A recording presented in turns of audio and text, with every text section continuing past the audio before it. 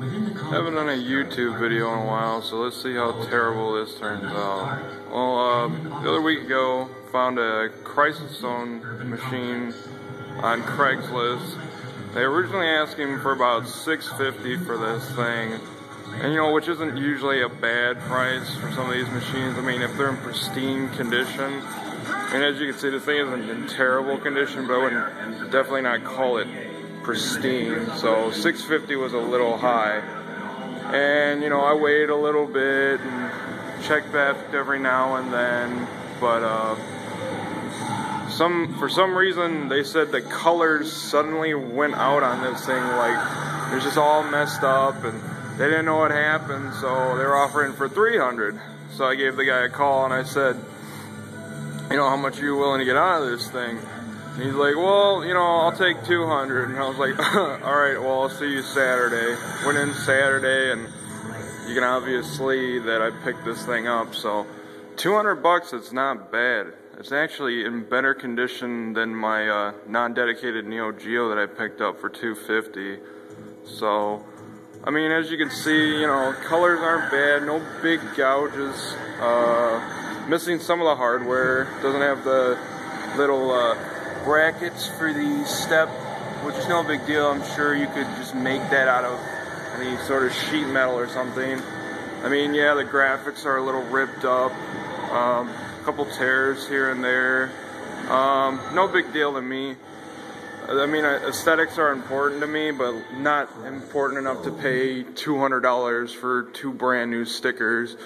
I mean, a couple tears here and there nothing too bad. The only thing really alarming about it is that uh, back, I don't know what the hell they did. They, they must have freaking dropped it and snapped it and just kind of like screwed in some mounts to fix it. But, uh, nah, not too bad. What's kind of cool about this machine, I'm not sure if this is true or not, but it still has all the Namco emblems and uh, it actually came from the Bensenville in Illinois, but this thing has been all over the place. I mean, obviously because it's got Illinois. Uh, it was sold from Illinois, but it's got a state of Tennessee, state of Tennessee uh, arcade machine license. So, I mean, this thing must have been thrown around. And for being thrown around so much, I mean, it's not in too bad a shape. I mean, yeah, it's missing that one piece, and the wood it's a little damaged, but like for 200 bucks, you really can't go wrong with this thing.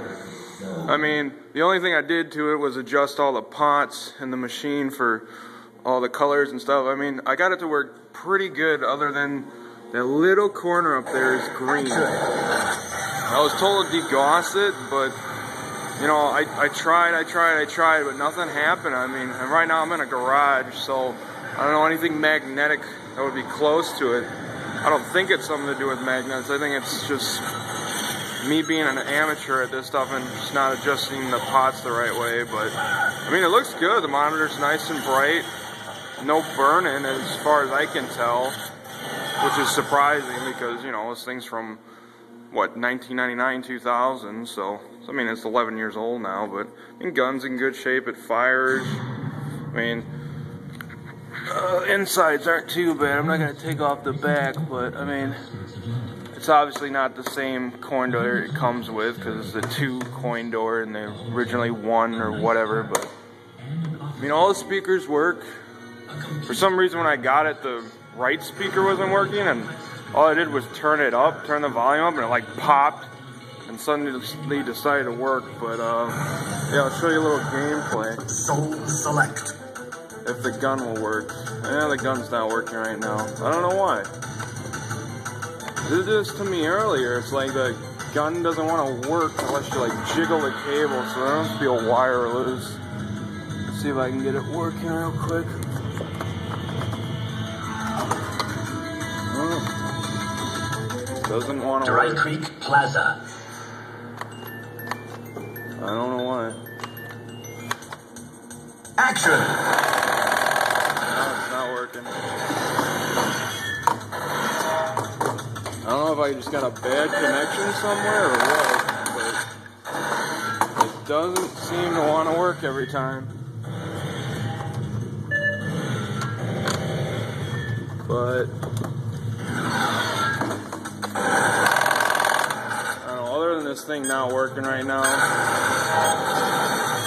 I mean, as you can see, it's in pretty good shape. I mean, I think the gun just has to do with a, a wire disconnected. But uh, yeah, thanks for watching. Well, what I found out is, uh, I remember that they said something about they were doing, uh, the previous owners did like uh, a motor replacement or something in the gun, and I don't know, there's just a couple bolts missing, and I jiggled this little board right here, and the wires under here must be like kind of like, I don't know, either touching each other or crimped. I gotta take the thing apart, but uh, yeah, I was always just moving too much, and now it looks to be working, but I figured as I had the back off, because I was just checking real quick, I'll show you the inside. I mean, it's actually not too badly wired. Um, when I got it though, the little monitor board was kind of sitting in the front of the machine. Like someone obviously was working on this and they had either no idea what the hell they were doing or whatever. But I mean, as you see, it's not too badly wired. There's probably uh, I could probably come in here and fix some of these up. Uh, only problem, like some of the components aren't down. The power supply, I mean, the switching power supply isn't all the way bolted down. I don't know what the hell you call this thing. Uh, uh, isolation transformer, maybe. I don't know. I'm not too big into all the terms yet for arcade machines, but that's all the way bolted down. I mean, PCB's bolted down. All little boards over here. But uh, yeah, everything's intact. So, and right now I figure I'll just show you some gameplay, at least this time. Soul select. Yeah, the guns, see, you can see the guns working now, so do this one-handed real quick. Action. Do it left-handed too.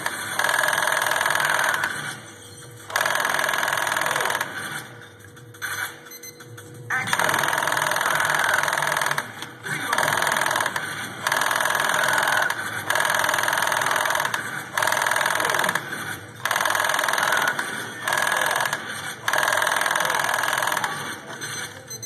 Action.